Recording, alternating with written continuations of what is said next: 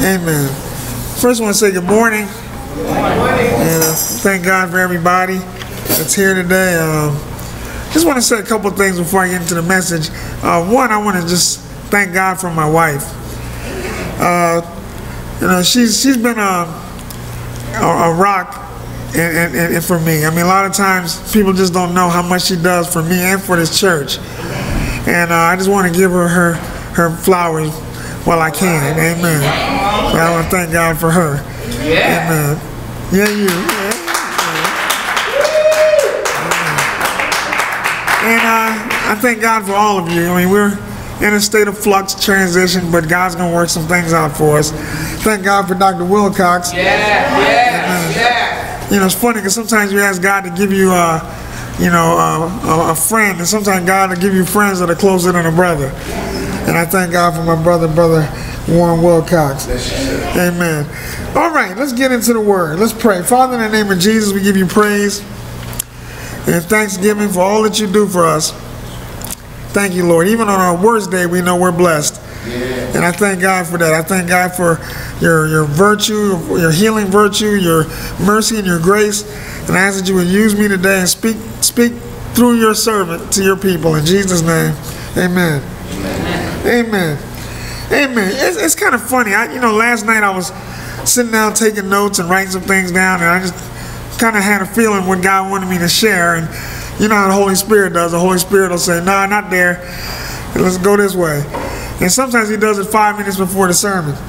So that's where we're at today. So turn me to 1 Samuel. 1 Samuel, chapter 16.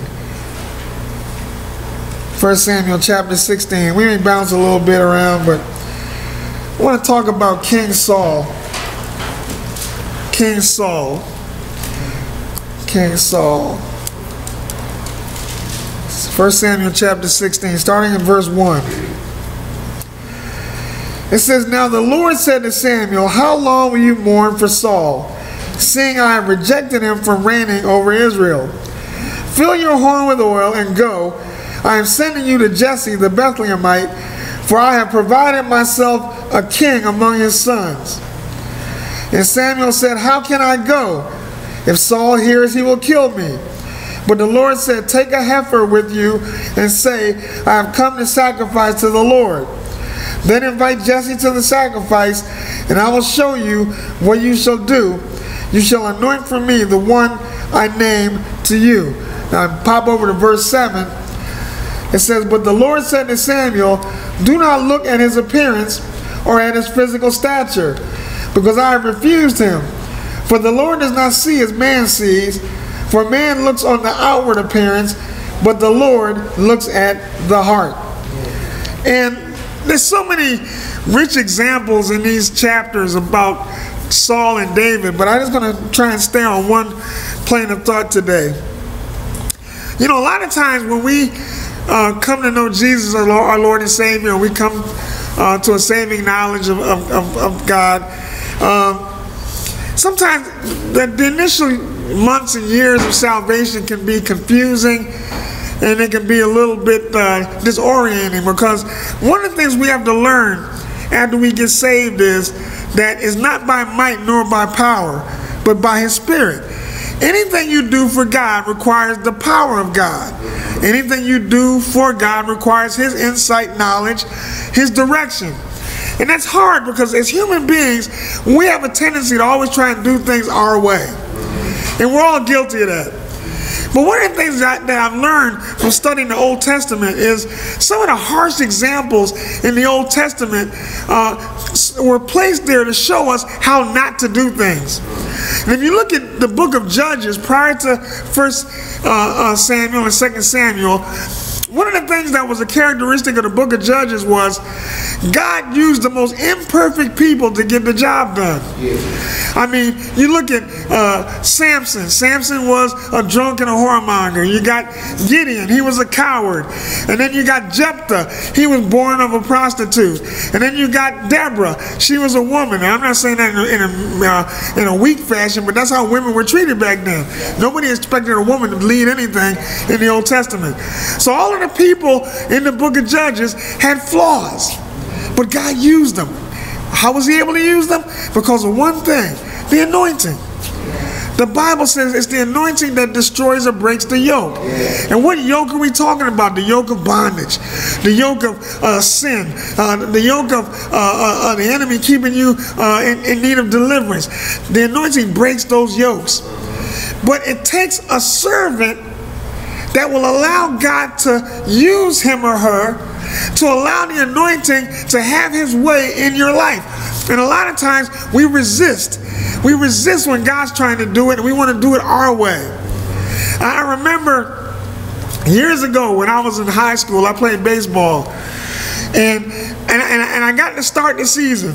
And I was all hyped up and excited. I got up to bat and I got my first hit you know, playing varsity baseball, you know, and I'm standing on first base. And then back then I thought I was Superman. I thought I could, I could do everything. So I'm standing on first base, and you know, you're always supposed to wait for the manager or the coach to give you the signal to steal, whatever that signal is. Well, he didn't give me the signal to steal, but I'm looking at second base, and I'm like, I can steal second base. And I just put my head down and started running. And the, and the coach is going like this. Like, but I, I'm going to do his thing, you know. And I made a mistake. And instead of looking at the bag, I looked at the catcher. Mm-hmm. And while I'm looking at the catcher, the catcher threw me out. And I went back to the, you know, bench all dejected. Needless to say, I didn't play the rest of the game. Oh, but the coach said one thing to me. He said, You got thrown out because you took your eyes off second base. And a lot of times, spiritually, when you take your eyes off of the will of God, when you take your eyes off of His perfect will, and you try and do it your way, you're going to get thrown out. Amen. And that's what happened to me, and that's what happens to us a lot of times spiritually. We, the, the, the, the, the object of our attention should be this book. The Word of God. And, and, so many Christians take the Word of God for granted. Mm-hmm. You know, you know, we'll, we'll brag about how saved and spirit filled we are and read the Bible one day a week. Mm-hmm. And then we wonder why we don't hear a word from God. Or we'll, we'll, we'll call that number on TV to try and get a word from some preacher if you got $750 and I need to get a word, so I'm going to call this one or that one. No, you got 66 books yeah. and the Holy Spirit. That's all you need. You ain't got to pay nobody for a direction or word from God. You got the Holy Ghost, you got the Word of God. But if you don't read the Word of God, then you're not going to know because the Holy Spirit is trying to give you what's in the Word of God to interpret it for you, to use, give, give it to you, and we're not reading it. So who do we have to blame but ourselves? So let's go back to Saul. King Saul started out pretty good. But the problem with King Saul was two things. One, King Saul was a result of the children of Israel whining and complaining to God about, we don't want these judges anymore. We want a king like the other nations. Well, God was their king, but they were too blind and carnal to see that God was the king. You, you, you go back and read the book of Judges. Every victory Israel ever had was a result of some miraculous thing that God did. You know, Samson is as vile a person as Samson was. It says Samson killed more Philistines in his death than he did in his entire life. Jephthah was the son of a harlot, yet he delivered Israel. You know, Gideon was a coward, yet God used him to deliver Israel. And goes, it goes on. And the reason why God does it like this, you know, the Bible talks about how God chooses the foolish things to confound the wise. You know, you want you want a, you want a good example? Look in the mirror. I look in the mirror and I say, God, how did you call me? I'm a hot mess. God specializes in hot messes. All right? Because when we when God chooses a hot mess like us, who gets the glory? Him. Yeah. You know, you know, it's sort of like the rich young ruler. He said, God, you know, I've obeyed the commandments. I got all this money. Come on, let me follow you. And Jesus spotted one weakness and you lack one thing. Sell everything you have and give it to the poor. And said he went away sad. Because his confidence was in himself and in his riches and not in Jesus Christ. Your confidence has to be in God. You will not succeed unless your total trust and confidence is in God. Stop depending on your willpower and your in instincts and your charisma. That ain't working against the devil. It's the anointing. And Saul had a chance. He had a chance to be a good king. Now, physically, Saul was an imposing figure. The Bible says that he was head and shoulders above everyone in Israel. Head and shoulders. That means he was a pretty tall brother, right? So he, tall, you know, he probably looked like a movie star, uh, strapping young man. Samuel anointed him. So, what was the problem? The problem was Saul was dependent upon himself and not the anointing. How do you know that, Stevens? I'll give you a couple examples. God told uh, Saul to go fight the Philistines. But before you go fight, you had to offer up a sacrifice. Who offers up the sacrifice? Not the king, it's the priest. So he, he's standing there pacing back and forth, and, and, and, and I got to go to combat, you know, and I got to offer the sacrifice. And Samuel ain't here. He didn't wait for Samuel. He decided to do it himself. And Samuel got there. He said, What are you doing? I'm offering up the sacrifice. Oh, you're the priest now? See, that shows you where Saul's mind was. He wasn't thinking about God. Now, was he religious? Yes, because he realized that uh, there was a need for a sacrifice. But a lot of us are like that. We're religious, but we're not spirit led. Your religious habits or, or, or, or, or, instincts don't take the place of the anointing. There's a lot of times when the anointing will lead you to do something that goes against religion. Say, Elder Stevens, well, how, how can that be? Well, let's look at an example that Jesus said. You know, remember that time when Jesus got rebuked by the Pharisees? Because they said, your, your disciples are eating with unwashed hands. You know, and Jesus reminded them, it's not what goes in you that defiles you, but what comes out. And there was another example when Jesus healed somebody on the Sabbath day. Well, they went off on Jesus about that. And Jesus said, Well, if your ox is in the ditch on the Sabbath day, when you get it out? Yeah. And that's why Jesus said uh, at the same time when he was teaching and stuff, he said that, the, the, um, ah, Lord help me. Anyway, I'll get back to it.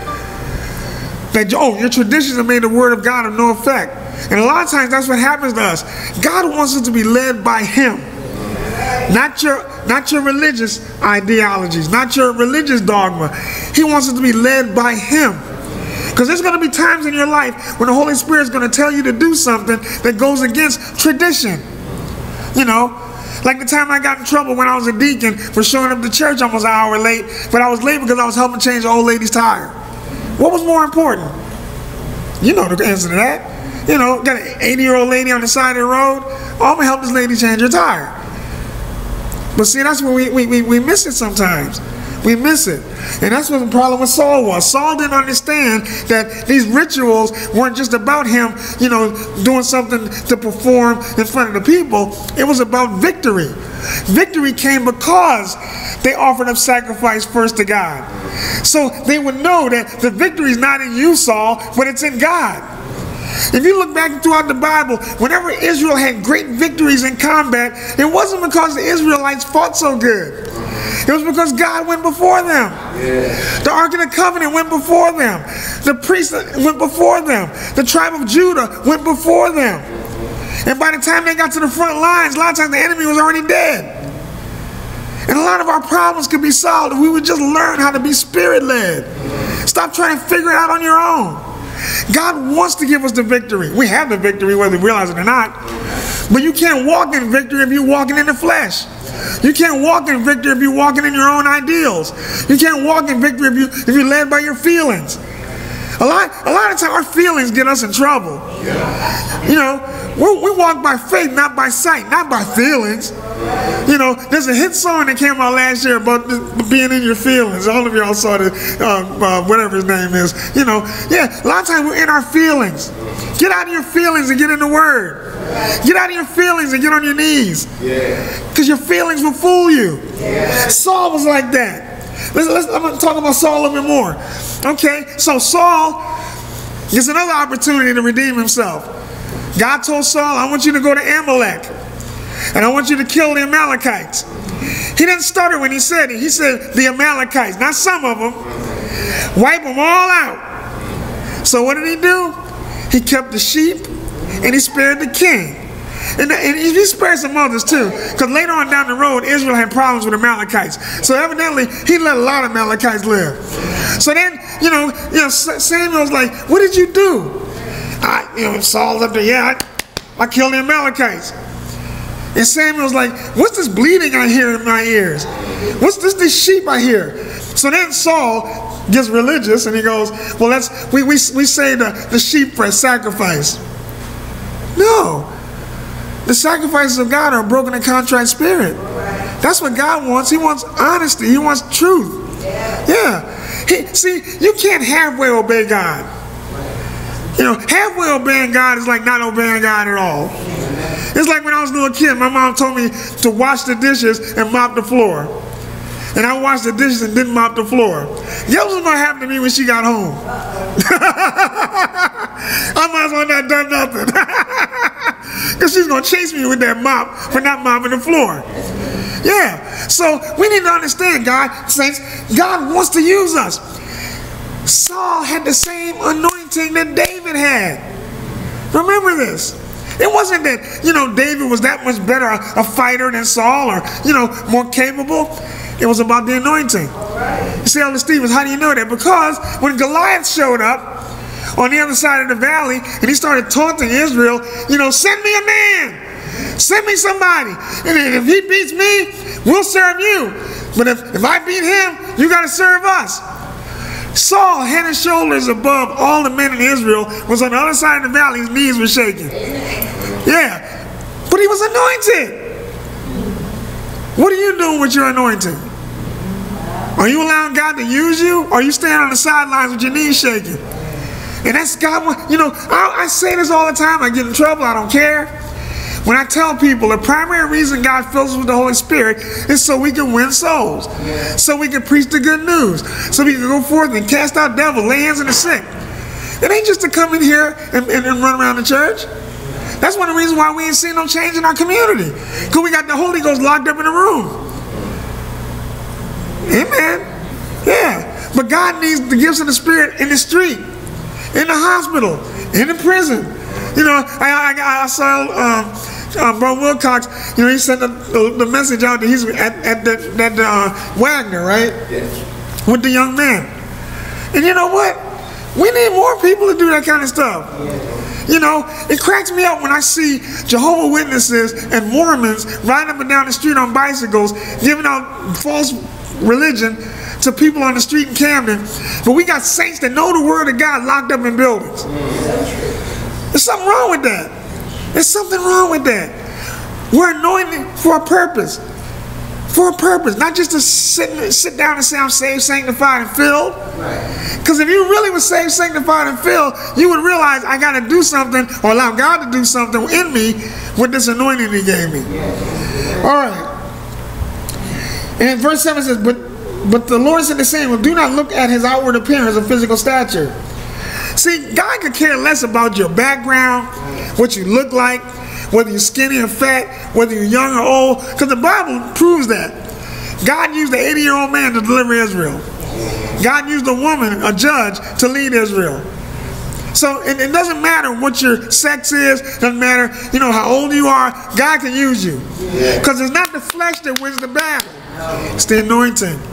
That's why God could care less, you know, about any of those circumstantial, you know, things. He doesn't matter to God. You know, the fact that David was a 14 year old boy didn't matter. Because David had a testimony already. As a teenager, he killed a lion and a bear. Yeah. So we need to understand something. God wants to use us. So many times, and I'm guilty of it too. You know, when I was when I was before I got sick with the sarcoidosis, I was a pretty healthy guy. You know, I used to lift weights. I could bench press 350 pounds, run five miles a day. I was a black belt in karate. I used to love yeah. You know, now getting out of bed in the morning is a struggle. I walk to the car and I'm tired. But you know what? The anointing yes. is what you, God uses to get the job done. He don't care about my muscles. He don't care if I can kick a board and break it. You know, he don't care if I can. That stuff don't matter. He didn't call me because I had that ability. In fact, one of the first things God did when I got, got accepted my calling was put that karate stuff down. Yeah, God, God, God doesn't call us because we're so grand and great. You know, if God was running the NBA, he wouldn't have drafted LeBron James. He'd have drafted somebody like, you know, Tiny Archibald, you know, uh, Spud Webb. Because God, God can take that little thing and do great things with it. And I think we need to understand that, you know, Saul is a classic example of a carnal Christian. A Christian in name only, a Christian that he looked the part. You know, he looked strong, he looked powerful. But in, in reality, Saul was a horrible, weak person. And what makes us weak is when we don't realize our weakness. Now, Saul would have gone a lot further with God if he was honest with God and said, maybe, okay, God, I'm a little afraid right now. I need some help. But he didn't do that, but he played the part. God's tired of us playing the part of a Christian. He wants us to be Christians. He wants he don't want us to look strong. He wants us to depend on him for strength. Paul said it best when he said, his strength is made perfect in weakness. Yeah, a lot of times the, the real the real challenge for us is admitting we need help. That's the challenge for us. You know, God doesn't want, you know, how many times you heard people say this? And I, I just heard it recently too. You know, you know, somebody dies or somebody's going through a tragedy or trauma, and the first thing a Christian sees, they say, be strong. Is that really the best advice you can give somebody that's going through? No. Really, the best advice is calling the Lord. You know, cry out to God. Yeah, because you know what? In your humanness, you're not going to be strong. You know, you're not going to be strong because we're human. But if you look in the Bible, the people that God used the greatest were the ones that were in the weakest conditions. Look at Joseph. He was framed for, for rape, locked in prison. Family put him there. You know, but God elevated Joseph to sit on the right hand of the Pharaoh. Why? Because Joseph kept his focus on God. Keep your focus on God, saints. Stop worrying about how it's going to get done. Just know it's going to get done. You can't worry about how. That's part of our problem. How you to do it, Lord? Don't matter how he does it. You know?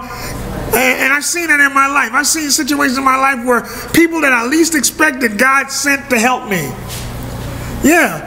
I remember when my wife and I moved from Edgewater Park to Browns Mills. The we, you know, I was just just coming out of Correction Office Academy. I wasn't making a lot of money, and um, you know, we just bought a house. But you know, you know, when you buy a house, you take every penny you got. Yes. So I, I didn't have a whole lot of money. But you know what? One of my drunk friends that I was stationed with at McGuire gave me a truck to use and a trailer. And one of my other friends came to help me move. The people I expected to help me, none of them showed up. But God, when you cry out to help for help for God, He's going to send it. Don't worry about how it looks. Yeah. Now, here's Saul, Goliath, and then his armor bearer, David. Or really his, his harp player, because that's what David was there for, to help get them demons out of him. Right? So David steps up and says, Send me, I'll go face the, the giant. So what does Saul do? Gives him all his armor. Now, if he's head and shoulders above everyone in Israel, how do you think that armor looked on David? Yeah. That's like, you know, me taking my size 13 shoes and giving them to Elijah. So David said, no, I can't use these. I, I can't use these. And he picked up a sling. Now I want you to think about something. In, in, in, your mind's eye, do you think a slingshot could really take down a giant? No, of course not. No. And, and I'm sure Goliath had on armor too. But the anointing. It was the anointing that guided that rock. It wasn't David's accuracy. It wasn't David's muscles. It was the anointing. Yeah. And when the anointing gets into the equation, victory's there. Yeah. yeah. Saints of God, if you're saved, raise your hand. All right? Well, you know what? You're anointed. Yeah, and a lot of people try to, you know, act like, well, no, you ain't really anointed. You know, you didn't roll on the floor and blow bubbles. Listen to me. If you're born again, you're anointed. You can't be born again unless the Holy Spirit is inside of you. Get that through your head. And because you're anointed, because the Holy Spirit's inside of you, you can talk to God like a, like a child talks to his father, and you can ask God for help when you need it. And through that power of that anointing, God will help you. Whether it's through the fruit of the Spirit, the gifts of the Spirit, however He comes, the help is there. I'm going to tell you something. Another reason why a lot of times we don't realize the power of the anointing is because even though we're new covenant saints, sometimes we act like we're still in the Old Testament. In the Old Testament, the Holy Spirit resided in a building or a tent. He ain't there no more. He's in you. Yeah. You know, I get, you know, a lot of times people think I'm trying to be deep. I'm not trying to be deep. I'm trying to help people understand the Word of God. When people come into church and they go, Oh, I feel the presence of God. Oh, come by here, Lord. He's in you. He's in you. We still singing slave songs. You've been set free. He's in you. And you know what? I'm just guilty. A lot of times when you get in trouble, I'm guilty too. We forget that God is in you. He ain't above you. He ain't around the corner. He ain't sitting on a throne in heaven, you know, uh, waiting for you to mess up when he got a big stick so he can smack you upside the head with it. He's in you. Yeah. Greater is he that's in than he that's where? In Who's in the world? The devil. Yes. So why are we worried about the devil? Shouldn't be. Greater is he that's in you. Now, one of the reasons why we don't realize that, like Saul didn't realize he had the anointing, is because, like the Bible says, submit yourself therefore to God, resist the devil, he'll. David understood that, even though it, it, it was written thousands of years later. David understood that. He understood that because when David got on the scene and Goliath was over there, David said, Who is that uncircumcised Philistine that defies the armies of God? First of all, David recognized that this, this Philistine was uncircumcised, meaning he didn't have a relationship with God. And he said, he's defying the armies of God. How you gonna fight God? That's what David was saying. You, you can't beat God. But Saul did not realize that. He didn't realize that. A lot of times, saints, we don't realize that. Stop acting like God's a million miles away. When you wake up in the morning, good morning, God. Yeah, because he's right there with you. Yeah, he, he ain't leaving either. See, a lot of times we base our situation on the on the distance that God, God has from us. You know, and we're all guilty of it. Me too, so I ain't trying to act deep. Now, I never forget one time, I was still in the Air Force, and I had to drive my, uh, uh my military vehicle uh, over the bridge to go to Wills Eye Hospital. And they had to give me an, uh, an injection in my eye. And so after the, the doctor gave me the injection, you know, the doctor says, look, Mr. Stevens, I'll be blunt with you. You know, it doesn't look good with your eyes the way they're deteriorating because of the sarcoidosis. And he basically told me that it wouldn't be long before he, I could possibly be blind, right? I'll never forget, when I drove across the bridge back to McGuire Air Force Base, I cried all the way across the bridge. And all I could think about was, what would my life be like if I went blind? But you know what? When I got on the other side of the bridge, got back to the base, got my car, and drove home, the Lord told me to read Psalm 13. And I read Psalm 13, and that's my favorite Psalm to this day. I read Psalm 13, and David was upset with God because of his circumstances. And David said, How long will you hide your face from me, God, forever? And that's how I was feeling. But then I kept reading. When I got to the last verse, it said, But I will trust in your salvation. Thank you, Lord. That's what we got to do, saints. Trust in the salvation of God. You're not saved just to avoid hell. You're saved so God can use you. Yeah. And so with that in mind, all I could think about was, well, how well could God use me if I was totally blind? And as soon as I said that, the Lord said, I can use you anyway. It doesn't matter if you're totally blind or not. God can use you. Yeah. In fact, it's funny because right after that, I met a guy that was totally blind. He's a chaplain. In fact, I, I hired him when at Ancora. Yeah. Totally blind. He's working at University of Penn now. Don't tell me God can't use you. Doesn't matter what your situation is. Stop looking at your situation and look at God. And that was Saul's problem. You know, he worried about the sacrifice and, and, and not willing to wait on Samuel. You know, hey, if, if Samuel didn't show up until the next day, I'd have waited. Because I knew the Philistines outnumbered the Jews 10 to 1. So why am I going to try and go into battle against an enemy that I couldn't beat? Unless God was there. Amen. All right, almost finished. Look at uh, verse 22. Then Saul sent to Jesse, saying, Please let David stand before me, for he has found favor in my sight. I should have read that before. There was something about David that Saul liked and he wanted David around. And of course, he played the music, and the demons got dispatched and everything. One of the things about God is when God has a call in your life, people are going to know it. People are going to know that you're special. And it's not because you dress a certain way or smile a certain way, but that's what the anointing does. The anointing separates. You know, the Bible, we talk about sanctification. Sanctification simply means that you're set apart for God's use. Yeah. And, and, I don't care, you know, that's why I tell people all the time when you when you get saved, you don't belong to yourself anymore.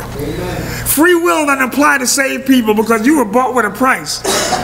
David was anointed. Now, did David make a lot of mistakes? Yes, he did. In fact, some of the sins that David did were more grievous than what Saul did. The difference was David had a relationship with God. David sought the direction of God. It was David that said, you know, that one thing about desire, that will I seek after, that I might dwell in the house of the Lord all the days of my life. David loved God. Now, did his flesh get the best of him? Yeah. But David always came back because David realized without God I'm nothing. That's why Saul couldn't recover. Because even when Saul messed up, all he thought about was losing the throne. He should have been worrying about losing his salvation. Because when David messed up with Bathsheba, what did David say? Lord, please don't take your spirit from me. Because David realized the importance of his relationship with God. We have to realize our importance of our relationship with God. Yeah, nothing's more important than your relationship with God. Not, not job, you know, not income. Nothing's more important than your relationship with God. Because ultimately it's going to be God that's going to help you and guide you through whatever situation you're going through. And that's where Saul messed up. Saul had the anointing. Saul could have beat Goliath. Now, he might not have beat Goliath the way David did, but because he had the anointing, he had the victory. But he got scared. God didn't give us a spirit of fear, but of love, power, and a sound mind. Stop being scared. This, if this is something God's laying on your heart to do, then do it. And don't worry about how. Don't worry about how it's going to happen. Who's going? Don't worry who's going to help me. Don't worry about that. Because there are a lot of times God's not going to send somebody to help you. Because a lot of times what happens is then, then somebody else will get the credit. Yeah, God, God is a jealous God. God wants all the credit. Now that sounds kind of weird. God jealous? Why? No, it's not that God is imperfect. It's that God wants the people around to realize it was Him. Yeah. That's why a lot of times, you know, my wife can tell you some of these stories. On the mission field, you see more miracles a lot of times on the mission field than you do in the States. And the reason why is because God's trying to show these people that He's real. He's trying to show people that I'm all powerful. I'm the Alpha and the Omega. Especially in these countries where people practice witchcraft and things of that nature. Yeah, God wants to show up and show out to set people free. Yeah, and He needs us to be a part of the plan.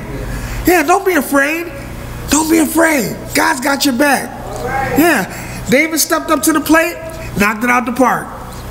Saul, bigger stronger than David, didn't get it done.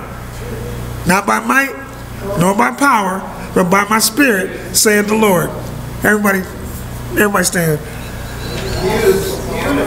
Thank you, Jesus.